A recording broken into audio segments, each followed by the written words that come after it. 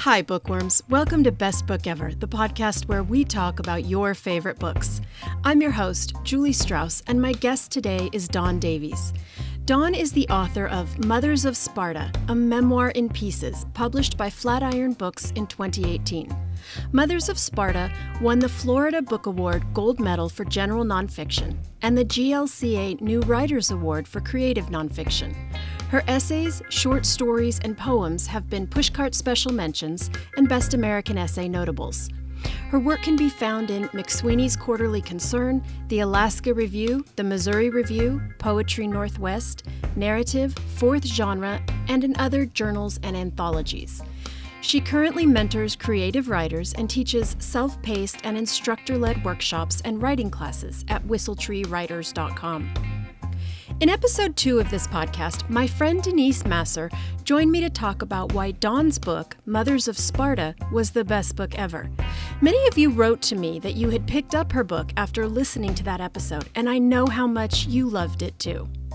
What an incredible honor it is that someone whose book was the subject of this podcast joined me to discuss her own favorite book. If you haven't already, I encourage you to listen to the Mothers of Sparta episode to get a sense of how profoundly Dawn's insightful words affects her readers.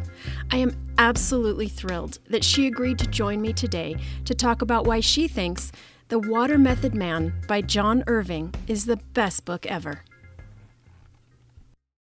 Bookworms, for only $5 a month, you can join my Patreon and get access to all kinds of goodness, including bonus clips with all of my guests, advance access to the books we read, monthly book club menus, and more. Not only that, but for the entire month of September 2020, I'm sending a Best Book Ever face mask to all new patrons. And by the way, I get it. Masks are super annoying. They make you feel claustrophobic and itchy. But you and I have a whole lot of books to read, and if we get sick, we won't be able to talk about them. And talking about books is one of the great pleasures of life. So please, wear a mask. The one I'll send you when you become a patron is soft and light. I've been wearing my own for over a month now, and I really like it, as much as we can like anything pandemic related. The good news is, if you wear a Best Book Ever logo over your face, men will stop telling you to smile and start asking you about your favorite book. That's a win for all of us bookworms with resting bitch face. To get yours, go to patreon.com slash bestbookever and sign up for only $5 a month. And as always, thank you for helping me keep the lights on over here in my reading cave. Now, back to the show. Hi, Dawn. Welcome to the Best Book Ever podcast. Thank you. It's great to be here. I love your podcast. I'm a fan.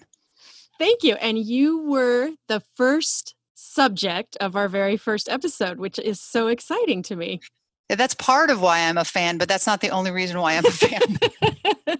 so you know, I have to tell you, um, every once in a while, like you know, writing's a lonely work, and I'm home alone all day, and I'm at this desk, and uh, publishing's very strange right now, and there's a lot of uh, unknown futures for a lot of us, and um, it's easy to get down a little bit. And every time I think, oh, should I be doing this? I still have imposter syndrome, right? I've had like 50 publications and I still don't believe I, I should be doing this sometimes. But um, every time I think, boy, this is really, this maybe isn't, isn't what I should be doing. I'll just listen to that podcast.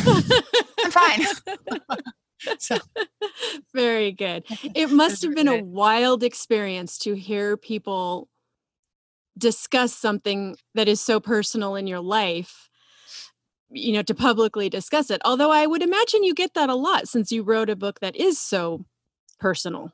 Yeah i did and in the okay so here's the thing about writing memoir or writing you know your own story and telling what people think are intimate details um, as the writer you control everything that goes out there. So i'm very much in control of what i want people to to to see and what i want people to think and it sounds like well, yeah, I guess I guess writers are control freaks. You know, we we decide the lens uh, that that people will look into. You know, um, and so everything I put out there, with the exception of Mothers of Sparta, the essay, which was extremely difficult and ethically um, kind of sketchy and difficult for me. Um, and our family.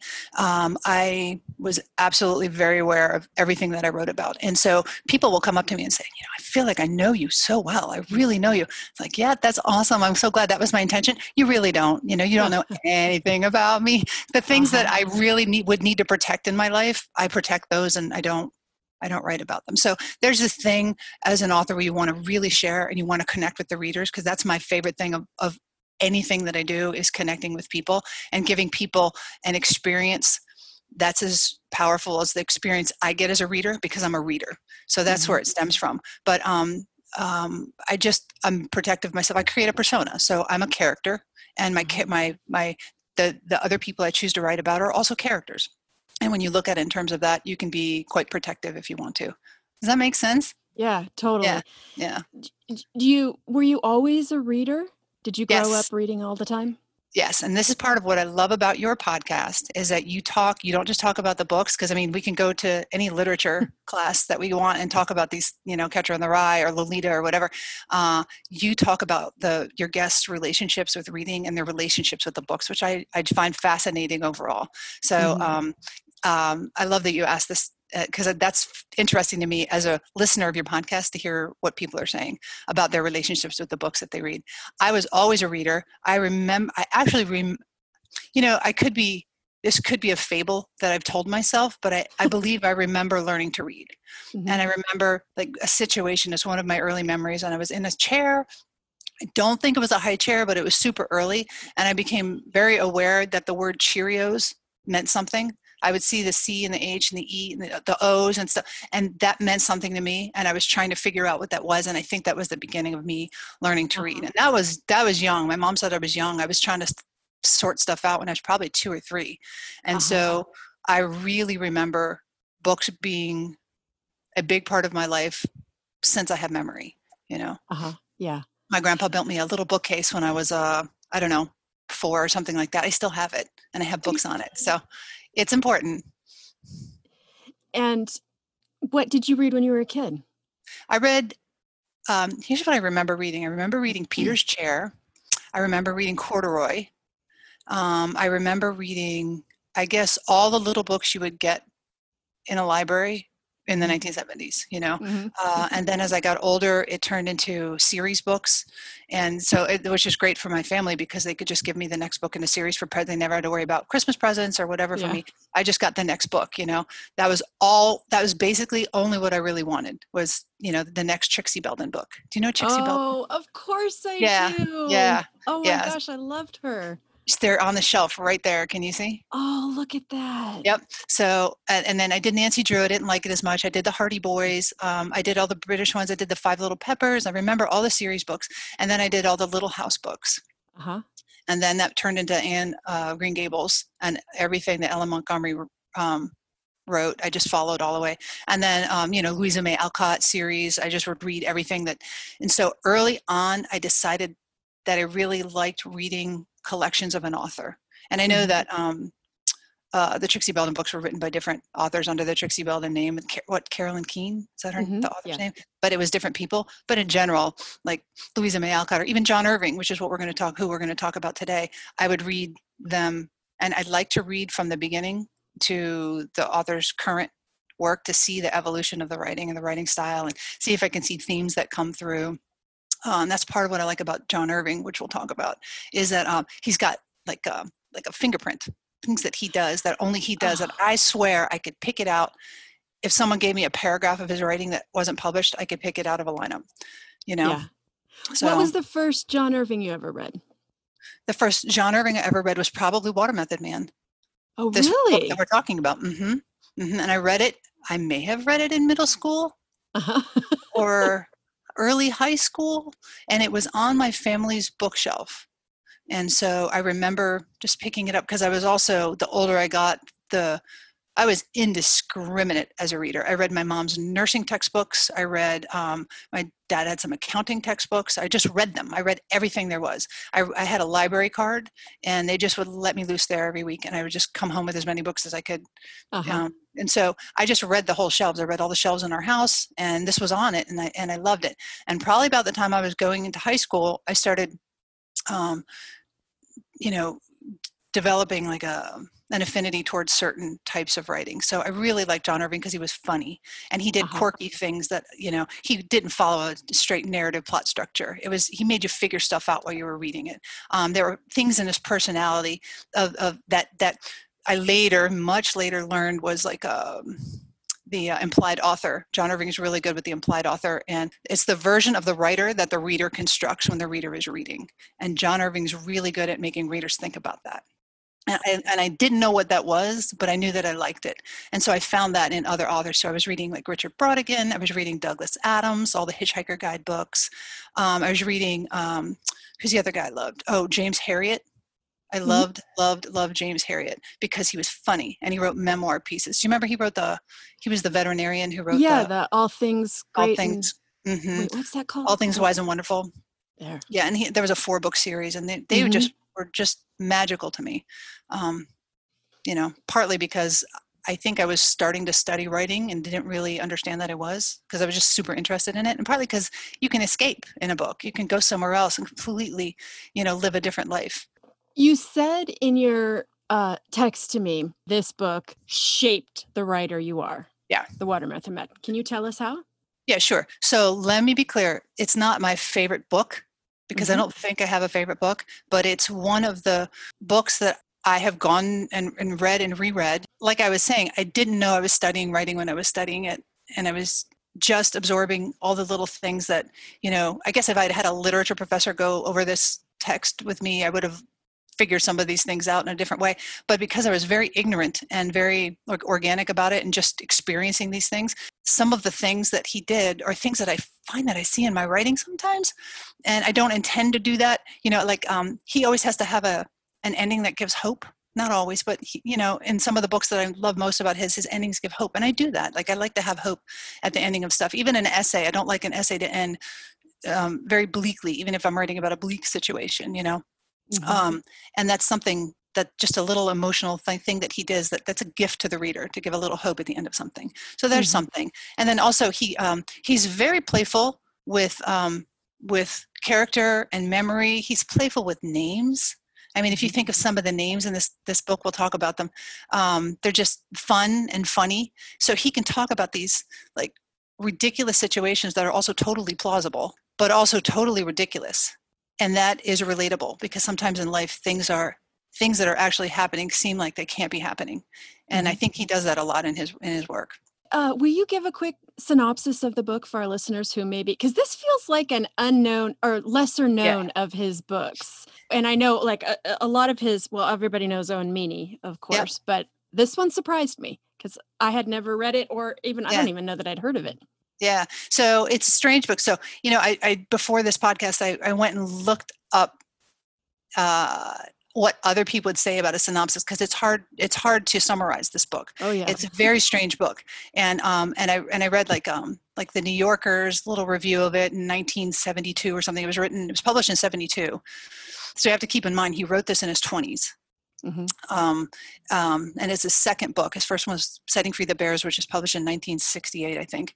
And um, so this was the second book published written before age 30 and published. And so the New York Times did a uh, synopsis of a little review of it, and it sounds nothing like what the book is. It sounds like a, a straight narrative of, of uh, Fred Trumper, a 20 something graduate student, um, has trouble with his, leaves his wife, and, and then goes on to pursue and eventually get his PhD. It's like that is not what this story is about at all, you know? No. So if I can briefly summarize it, so it's called The Water Method Man, and um, the, the, the main character who is sometimes the narrator because it's tricky it's written in first person and third person right? Um, mm-hmm. he's he is a 20 something graduate student um, in literature. He's in iowa and um, he's married with a child and, and, and he and his wife get married because she gets pregnant well when they first meet very early on when they meet and they get married. So there's a suggestion that they're ill suited for each other and that something won't go well because they're very young and they didn't know each other well. In a nutshell if we're going to take the the the the chronological thing. He marries a woman, he leaves her, he can't get his PhD done. He he goes to New York, he meets another woman, he gets involved in like this underground film industry, and then he cracks up, leaves her, goes to Vienna, Austria, which is where he has um, history with his first wife and another guy uh, who is a dear friend of his who he has to reconnect with, and then he comes home. yeah, that's also not what the story is about. I don't know what right. to say. It's really hard. Um, there's a lot of um, of commitment issues in this and he can't seem to ever finish anything. Well he's obviously immature. He's not mature. But and then we don't talk about why he can't finish anything. But the fact that he can't finish anything is paramount to every segment of the story. You, you, i mean you're right that it can't be summarized because you didn't mention i think the central no. thing. Which which what? Which is his penis doesn't work Oh, correctly. oh, oh, yeah. Well, that's huge. That's a big thing. Well, yeah, his penis doesn't work, and it's another. Yeah. Oh, I forgot about that. Well, we've said the word penis now. We can keep saying it on the podcast. Actually, the book opens up that way, and he can. Right. It's painful, and he has trouble urinating um, due to what we assume is like a, a stricture or some sort of congenital defect that he has. And he has a choice to get surgery, but he also stays non-committal about that and chooses mm-hmm. what's called the water method which is to drink a lot of water before and after sex. And right. hopefully you would keep bacteria from congregating in there and stuff. And he chooses that. And that even itself is a, is a non-committal move. Like he doesn't right. choose to fix anything. So um, weaving in and out of all of that is, is, is the fact that his penis doesn't really work right which is and he's a guy in his 20s the narrator is a guy in his 20s we got to keep in mind the author is a guy in his 20s and so sex is going to figure prominently or at the thought of it or a preoccupation with it in some level it's going to be in the story about page 10 so i knew you know from page one because he's at a doctor mm-hmm. trying to deal with his broken penis so right around five i started going well he talks about boobs a lot yes he does and so i took an orange highlighter i don't know if you can see on here and i started highlighting every time he mentions boobs tits cleavage breasts mm-hmm. bras mm-hmm. Mm-hmm and there are almost on every page a little orange dot here where I marked it. And then I went back and I marked every time he talks about uses some word for penis. And again, went through almost every page. It's prick usually, right? It's prick. Prick, almost always. Yep. Yeah. Mm-hmm. Yeah. And so to, it's just so fascinating to me that you didn't mention that in your synopsis because to me, this was a book that was absolutely obsessed with the flesh, particularly ah. the sexual organs. And the very last line is he the flesh surrounding him. You know, the all the good flesh around yeah. him. Yeah, isn't that funny? So I don't read it like that. Uh-huh. Because I read I, I'm I guess I'm reading it every time I read it, I read it for I guess I here's what I do.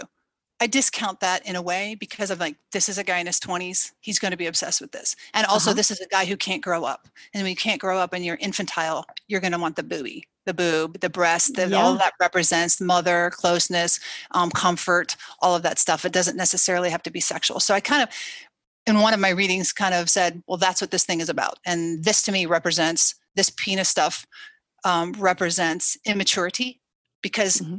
any sexual situation that that actually any sexual scene in the story is not in control there's no control in that in the sex right so you know he has a an encounter with a graduate student lydia lydia kindle mm-hmm. remember um, i actually write about that in an essay um, men i would have mm. slept with lydia kindle makes the essay so because oh. I, John Irving's on my list of men I would have slept with in a funny way, right? Um, but uh, that's a failed sexual uh, encounter. He has um, the sexual encounter that he first has with Biggie, not mm-hmm. where he, either where he impregnates her or maybe not. We don't know if it's the first sexual encounter or not, but it's funny. They're very analytical about it. They're cold. Merrill, the other character, is having a diabetic coma at the same time.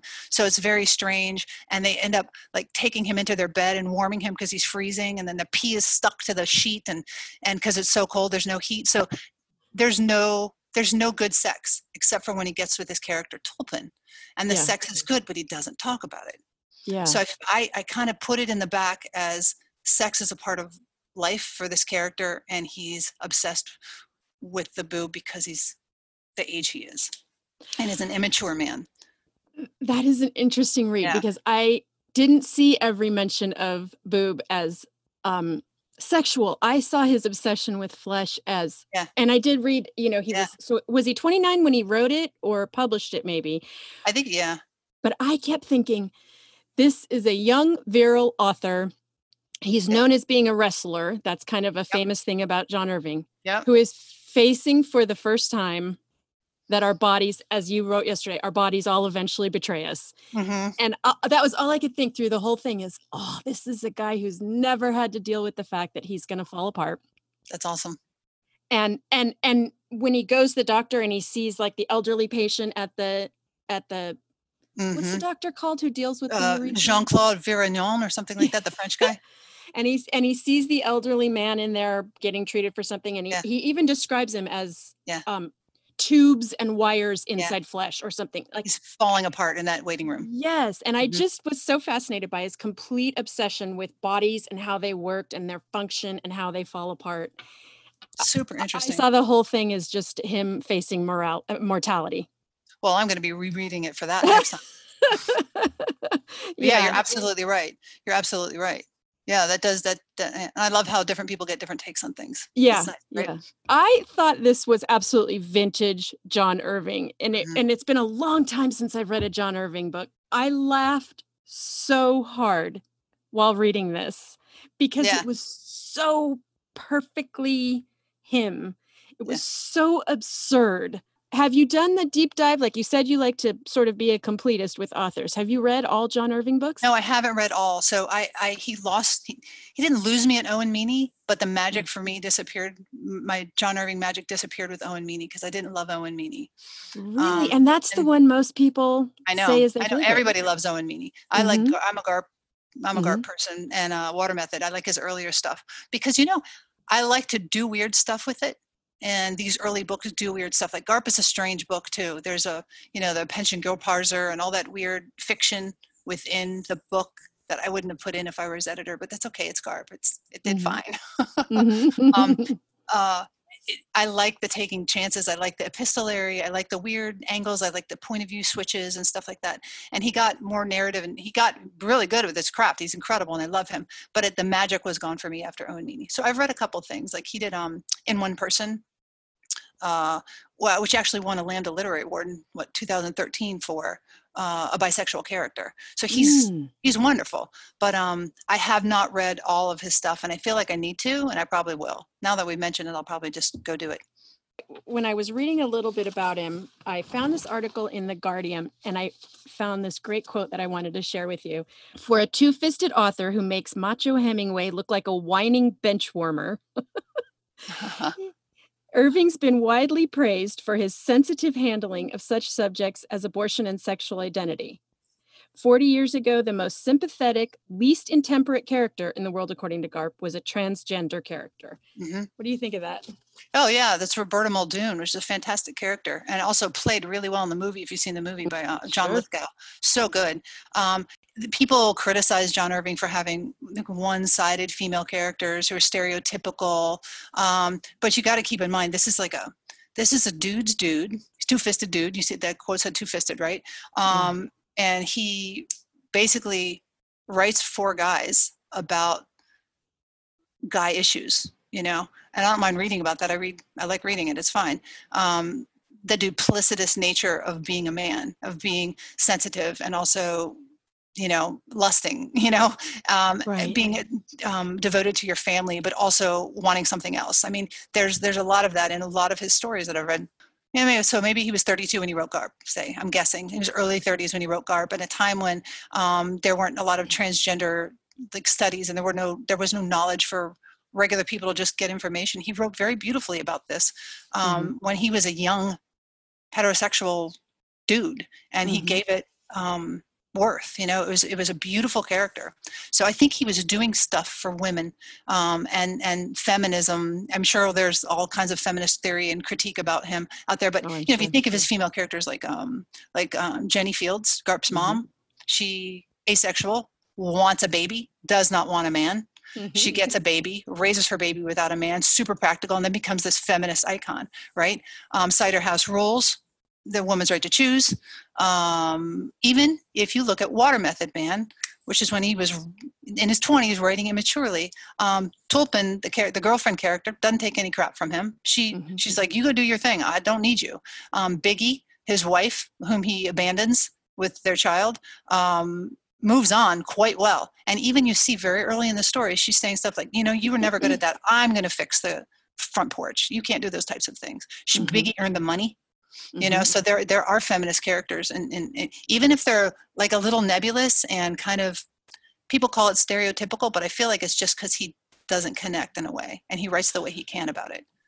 Let's talk a little bit about the names. Uh-huh. Fred okay. Trumper. yeah, Trumper. So his name is Fred Trumper, but everyone in his life calls him something different. So there's there's a mm-hmm.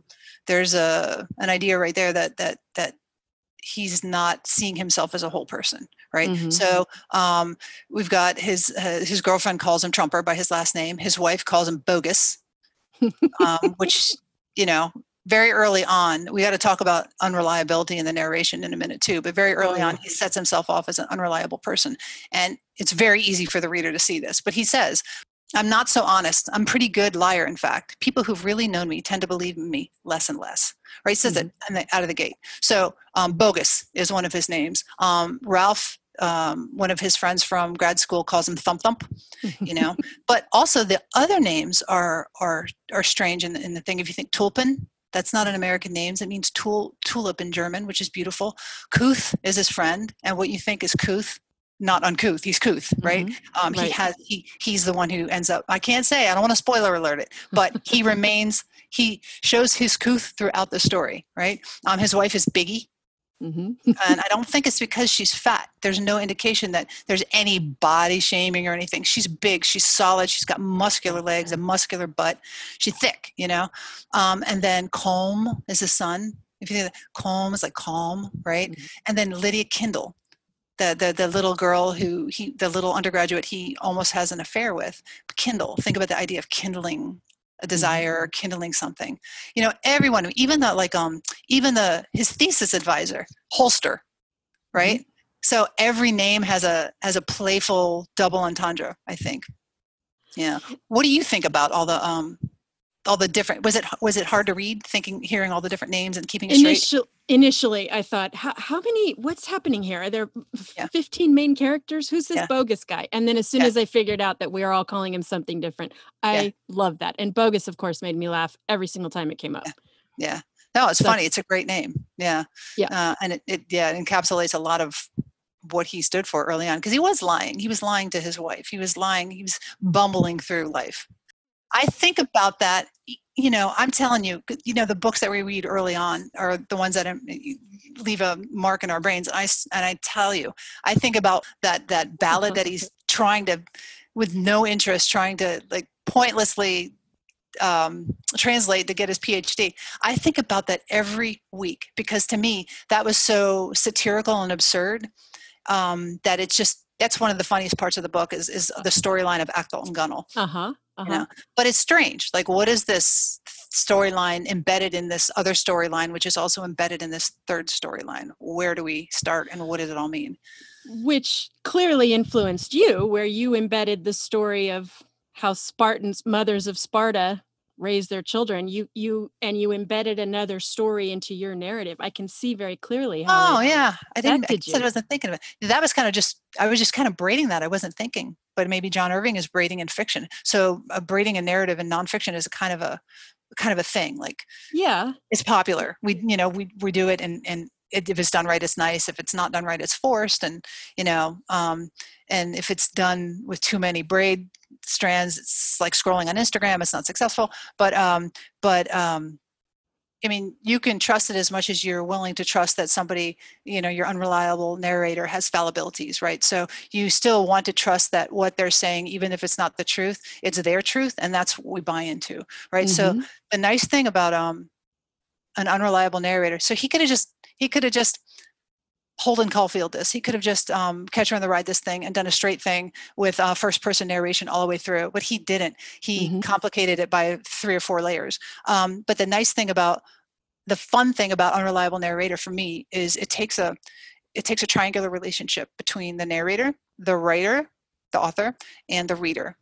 And in the case of unreliable narrator, uh, narrator, the um, the narrator is left out of the, the triangle and there's a relationship between the author and the reader that happens that i am mm. fascinated with yeah it's it's quite a feat it's also strange you know he's he's got so many balls in the air at the same time that that uh, it's it's fun.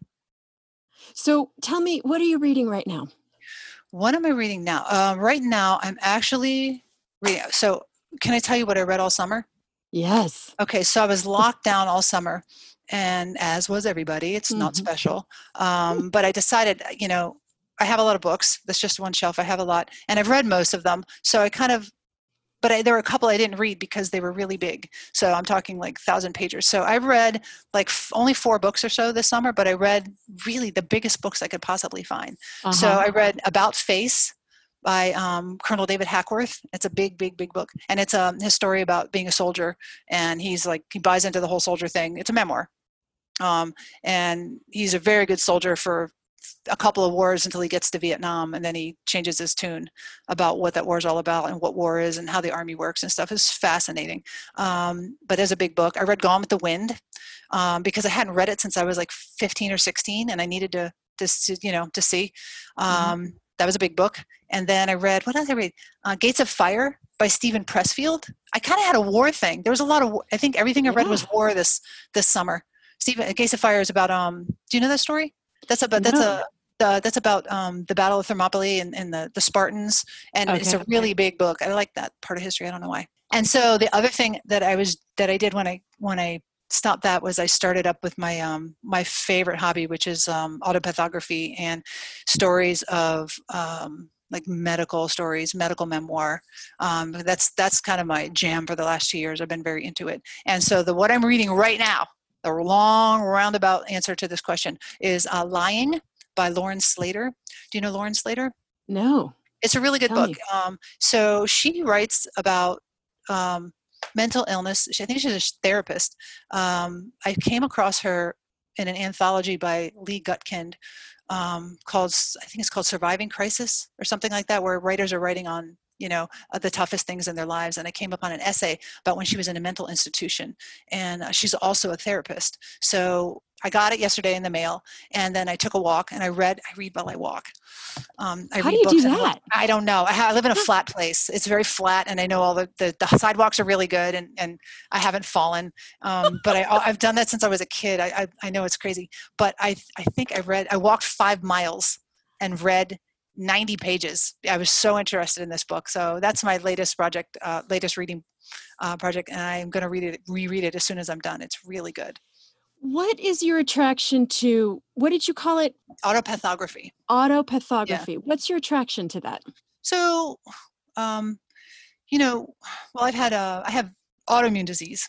It's kind of a like an unfortunate fact that no matter what I do, it's never going to go away. I don't think I'm going to cure myself of it just because I'm, you know, taking saunas or seeing the best doctors or or fasting two days a week or or taking the right form of magnesium or whatever. You know, um, there it's never going to go away. I have this thing, and um, and when as soon as I think I've beaten it, it comes back and smacks me in the face again. And it's been happening for some years. Actually, the last essay in my Mothers of Sparta book is about having Sjogren syndrome, which is one of my autoimmune diseases. And um, and there's something about telling that story that it's not a woe is woe am I, woe is me story. It's a it's a if I tell the story, then I take the power back from the medical chart. And mm. if I read a story that someone writes about this, I contribute to the writers taking back their power from their medical chart. So so often we're like I feel like we're like colonized by doctors. If you're a patient, you are completely colonized. You're told what to think, what to take, what to eat, where to go, when to do it, and then all the information about you is stored in a place that you can't really access if you think about it, right? You have this mm-hmm. chart, and it becomes a representation of you, like a persona of you. That's not you. And um, I started writing the for animals essay that I wrote and that was published in Mothers of Sparta was my first essay writing about it. And I felt very embarrassed about it at the beginning, like, oh, everyone's gonna think poor me, it's super melodramatic, it's it's it's it's sentimental or whatever. And it's really not. It's it's really powerful to write it. And um and I think that it's healthy for everybody who is telling their stories of whatever illness, mental illness, trauma writing. You know, there's a lot of military writing that's happening.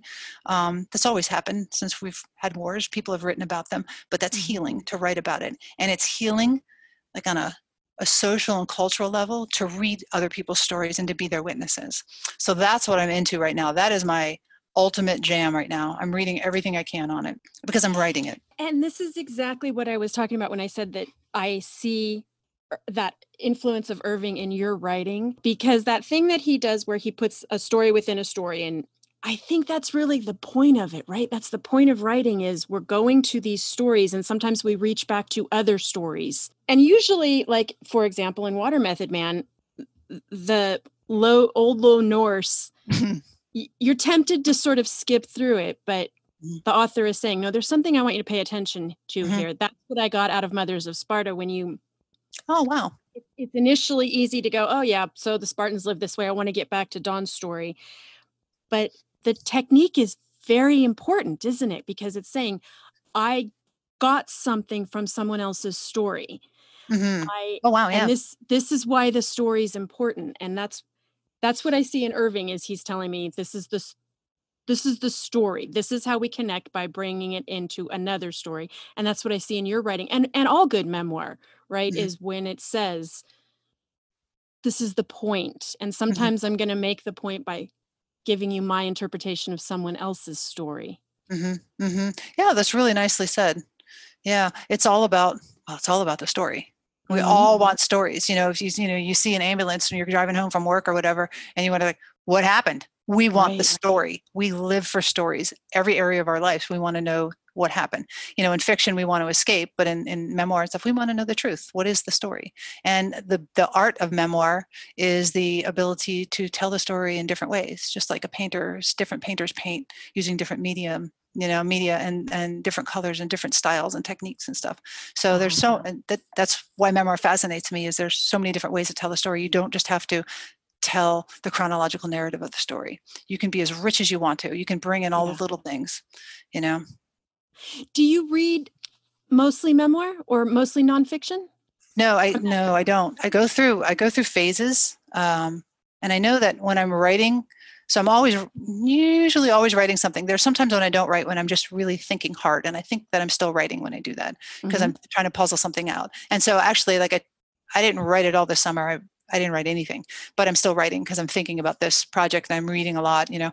Um, but when I'm really writing and I'm involved in, in a project intensely, I don't read anything. I only read my own work mm-hmm. which sounds weird, but I think I don't want to be distracted. I don't want to sound like anyone else. I don't want to second guess something I'm doing, you know. And then when I'm kind of lightly in a project, I read whatever that project isn't. So I just finished a novel and I didn't read any fiction for that year.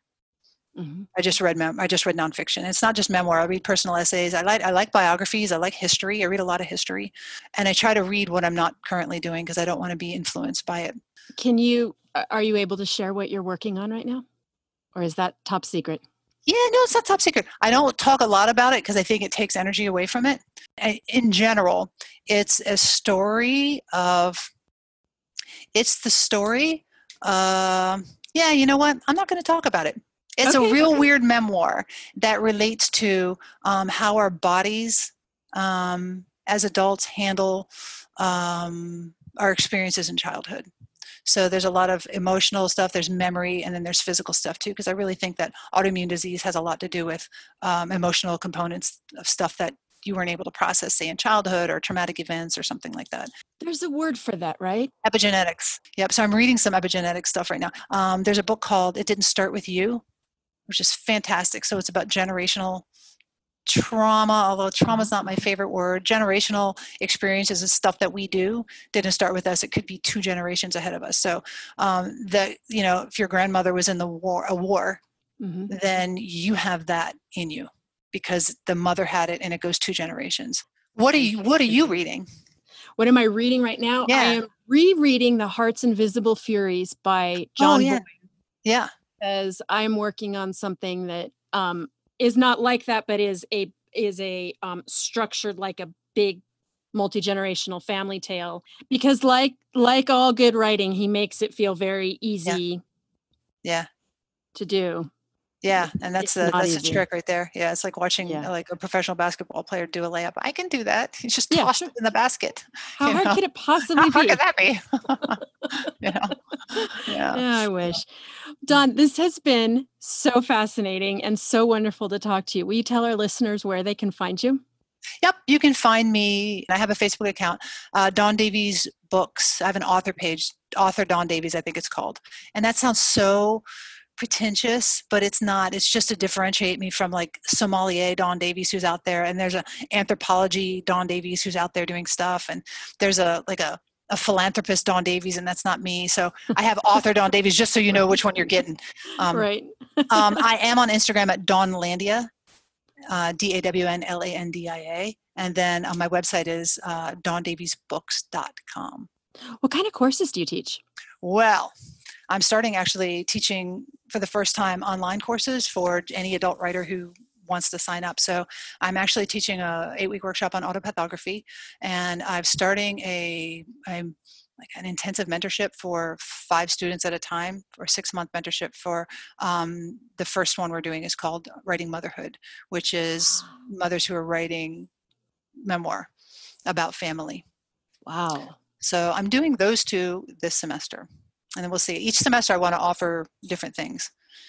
Is this through a university or something, or this? No, it's it's it's through me. It's something I'm starting to do because I really believe that, um, and I, I try to make it very accessible for people and affordable and easy, um, uh-huh. easy to do, um, because I feel like um, you know we're all isolated, but it's important to still keep writing. What a and great idea! Yeah, thanks. Yeah, I'm a little nervous. Thanks for listening, book nerds. For more information on this episode and links to all the books we discussed, please go to our website, bestbookeverpodcast.com, or follow the podcast on Instagram at bestbookever. I'm your host, Julie Strauss, and you can find me everywhere as Julie Wrote a Book. If you enjoyed this podcast, please share it on social media and leave a review on whatever podcatcher you use. Reviews really help our visibility to new listeners, and we are grateful for everyone. Thanks for joining me today, and I will see you at the library.